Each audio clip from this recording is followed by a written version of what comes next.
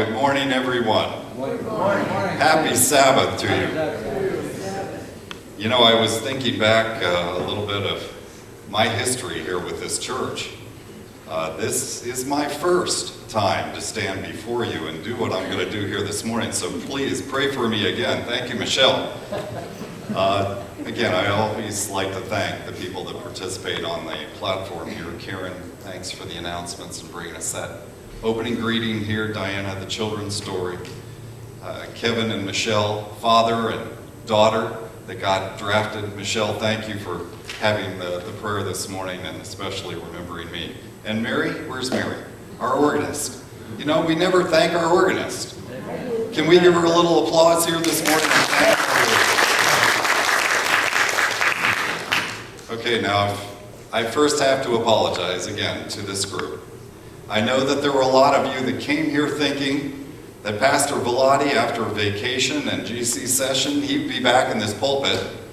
So unfortunately, you're going to have to wait another week before that happens. But we do want to thank Pastor Velati for coming back, and his sister-in-law, Esther, is here. So yes, Esther is here representing the family as the uh, family is all sick. And Velati has decided to bring that upon us here today. So thank you for being, yes, really. But anyway, the apologies are for that. And uh, I just pray that I can fill his shoes this morning. Yes, Mary. Oh, yes, Maida, how did I forget you? Thank you for a rousing song service. I know you hadn't done that in a while, but thank you very much for doing that also for us. And for those of you who saw my name on the website or in the bulletin and thought, what? Well, I'm along with you on that thought. Um, Steve Hanson preaching. Got to be there for that, or I, I scared a lot of people away. So thank you very much for those of you that braved this morning to come hear this message. You know, I, as I've stood here before many a time and have done a prayer request or collected the offering or had a prayer for the offering, uh, participated in some of your family funerals, uh, helping with communion. You know, it's been a privilege to represent this church in those capacities. But to stand before you for another 30 minutes may be a challenge for me, but uh, bear with me. Gail and I have been here as members for almost 35 years. That's hard for me to believe. Some of you, I was here before you, and some of you were here before I came. So anyway, we're a family, and that's what I like about this church. Amen. I'm humbled at the privilege to stand before you this morning, and I do pray that the Lord's going to bless this message and that it comes from my mouth like I wrote it not like I think I will probably say this. But uh, before we start, I'd like to have a short prayer here this morning and just ask that uh, the Lord bless this service. Heavenly Father, again, I thank you for this family that's gathered here today. I ask for your, your blessing upon the words that I will speak today, that they honor you and glorify your name. This is my prayer in Jesus' name. Amen. Well, before you leave here today, my, my hope is that you will leave here with these thoughts. Number one, a thought of how much Jesus loves each one of us. Number two, how much each one of us has a role to play in proclaiming the gospel message. And that, number three, we need to be unified. To share that love within ourselves and then share that love out into the community. I guess I'm filled with uh, apologies here this morning because I know a few of you went to the GC session. And you may have heard on the very first Sabbath, our newly elected but returning to the position, G.T. Ng, the secretary of the General Conference, tell a story when he was preaching. And I just thought it was so fitting, I'm going to try and duplicate that story, so bear with me. The story is told of a prime minister who was invited to visit the President of the United States. That president was Bill Clinton. Unfortunately, though, this prime minister couldn't speak or understand English. He was naturally uneasy to pay an, uh, an, official visit to the United States without the capacity to understand or speak English, But without panic, his staff put together a plan. There's nothing to worry about, Mr. Prime Minister, we can help. When Americans greet each other, their common greeting is, How are you? For in the United States, that is the standard greeting, whether they mean it or not. And after that response, the president would most likely say, I'm fine, and you? And then your response, Mr. Prime Minister, would be, Me too. So over and over again now, the Prime Minister started repeating this greeting How are you? Me too. How are you? Me too. Well, the Prime Minister started gaining confidence and felt that he was prepared now for the meeting. Upon arrival at the White House, the Prime Minister is taken back by the powerful and stately influence that he sees from Mr. Clinton, Mr. Clinton and gets nervous. So instead of saying, How are you? he said, Who are you? President Clinton is taken back by that response and thinking this is a prime minister who doesn't even know who I am. But after regaining his composure and not wanting to embarrass the prime minister, President Clinton offers this. Hello, I'm Bill Clinton, husband of Hillary. And you? And the prime minister responds, Me too.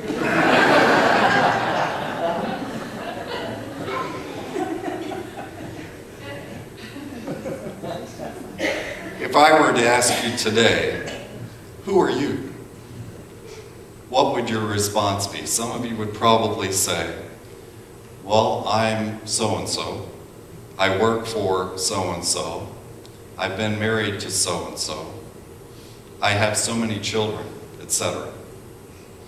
But then if I asked you, who are you at the Willowbrook Church? Some of you would probably respond, I'm an elder, I'm a deacon, I'm a Sabbath school leader, I'm a fellowship dinner coordinator. By the way, there is a fellowship dinner after this. So those, I hope you brought your appetites. Each person adds to the whole ministry of our church. No one can do it all. We can't expect Pastor Velati to do it all. Now, this wasn't supposed to be an announcement for the large committee preparing for the nominating committee, but each one of us needs to be prayerfully considering right now when that telephone rings or that we're invited to be part of the fellowship and family of this Willowbrook Church and take an office. If I was to say, who are you in the workplace or around your friends? Do those around you see something special in the way you deal with circumstances or the attitude that you portray at work? Would they ever ask you about your church? Would they ask you about your beliefs?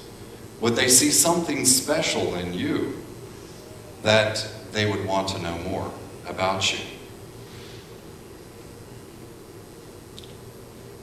I'd like to show you a video that uh, I saw that reminded me of what it is to be an Adventist. Real quick, there's a, a video here. In, in this video, I'm going to be discussing the four C's of Adventism, which are fundamental beliefs of the Seventh-day Adventist Church.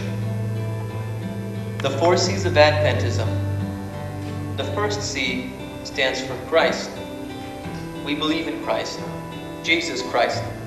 We believe that He is God, and that He came to this earth to show us what God was like, and to die on the cross for our sins, so that one day we may be in heaven with Him. The second C is the cross. We believe in the cross, and we believe that Jesus died on the cross for our sins, so that we may have salvation, which we receive through faith, not by anything that we do, like keeping the commandments. The third C is for the commandments. We believe in the Ten Commandments, and we believe we should keep the commandments, not in order to be saved, but because we have been saved, and it is our way to show our love and appreciation for Jesus and His sacrifice for us. In John chapter 14, verse 15, Jesus said, If you love me, keep my commandments. And the fourth C stands for Jesus soon coming. We believe that Jesus is coming again soon. And that's why we feel that it is important to believe in Christ, believe in the cross, and keep his commandments.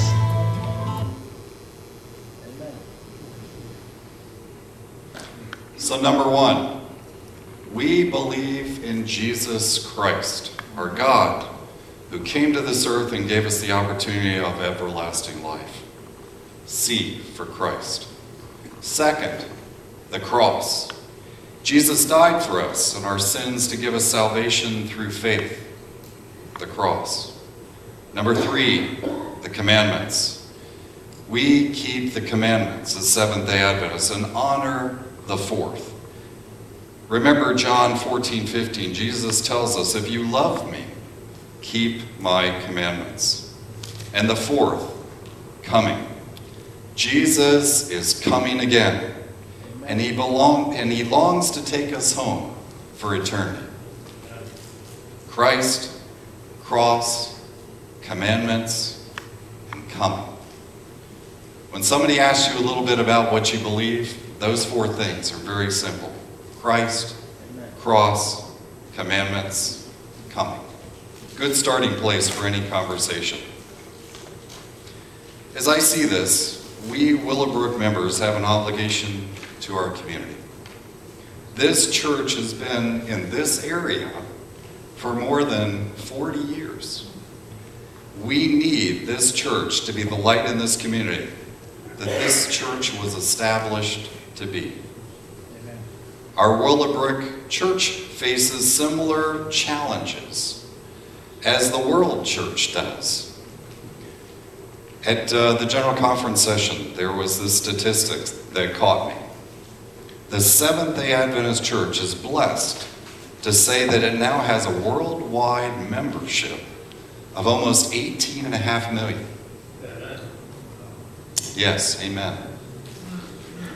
Which has grown 6.2 million members in the past five years. To be exact, 6 million 212 916. Five years, 6.2 million. But, and we do praise God for the growth, but at the same time, our church is now wrestling with the loss of, in five years, 3.7 million members. To be exact, 3,717,683 members since 2010. What's happening to us? That's almost a 60% loss in five years. Seems that part of the problem is that the members, for whatever reason, have lost a sense of participation and mission. Satan attacks us where we are most vulnerable. Whatever those attacks might be, Satan knows our weaknesses and tries to exploit them. But as a corporate fellowship with a combined vision, we can counteract those attacks with a strategy of commitment and to look for the grace of our God to give us the understanding. There's a second text that I'd like to bring 2 Corinthians 12 9. And maybe we could read it together here. But he said to me, My grace is sufficient for you for my power is made perfect in weakness. Therefore, I will boast all the more gladly about my weaknesses, so that Christ's power may rest on me. Just before, after we said this, I was thinking there was another video. Good. God's unmerited favor for us, His crazy love. And the truth is, many times we struggle understanding it. If you find yourself struggling to understand God's grace, don't beat yourself up. Even the disciples struggled with understanding grace. Jesus said you? You're alive. I can't believe you're alive. Okay, I was in the boat and I wasn't catching any fish, okay? But I heard this voice and the voice said, cast your net to the other side. And so I'm thinking, I'm a fisherman. I know what I'm doing, but I'm not catching any fish. you know? And so I throw that net over there, and then a gaggle of fish pop into that net, and I'm going, this is a total miracle. Who could have done that? I need to know who told me to throw the net to the other side. And boom, I look up, and I mean, there is you. You're looking at me on the seashore, going, it is I, the Lord, and you're alive. I can't believe you're alive. Andrew, get out of the boat. Come on. Peter. Yeah. Do you love me? Yes, I love you. I love you. You're alive. This is so great. Good. Hey, Then feed my sheep. Andrew, get out of the boat. Come on, man. It's him. Peter, Yeah. do you love me? I love you, yes. And I'm so sorry about that rooster clucking. I had no idea what that meant, but I do now. I'm better for it, all right? Okay? Then feed my sheep. Andrew, I'm smiling, but I'm serious. Come on, get out of the boat. It's him. Peter, Yeah. do you love me? Jesus, mere words cannot describe the passion that I have for you. I love you. You know everything. I love you. Good. Good. Then feed my sheep. I didn't even know you had livestock.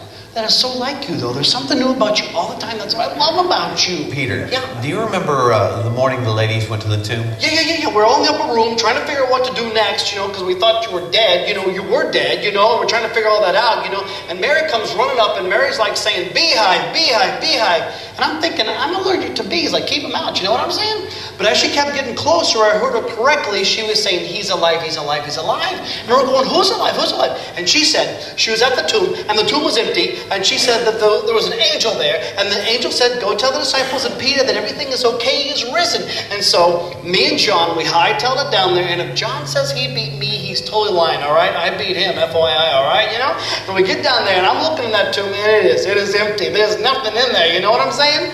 And I'm like, what does this mean? What does this mean? And John is right there. John is so good with words. He should write a book. He is so good with words. And John said, Don't you get it, Peter? This is everything Jesus said he was going to do, and you did it, and it's done. Let's go. This is so great. Wait, the angel said what? Uh, go tell the disciples and Peter that everything is okay. He is risen. You've risen. Let's go. This He is said what? Go tell the disciples and Peter.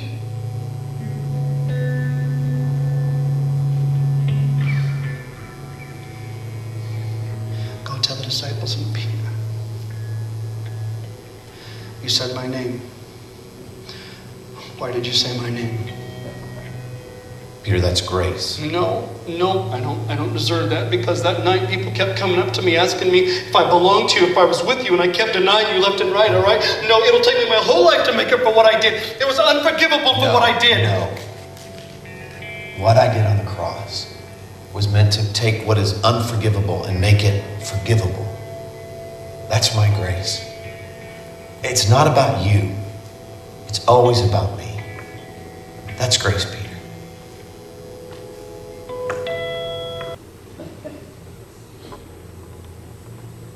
What can you say? Just like Peter, it took Christ to instill in him and go forth and tell others about Jesus' love.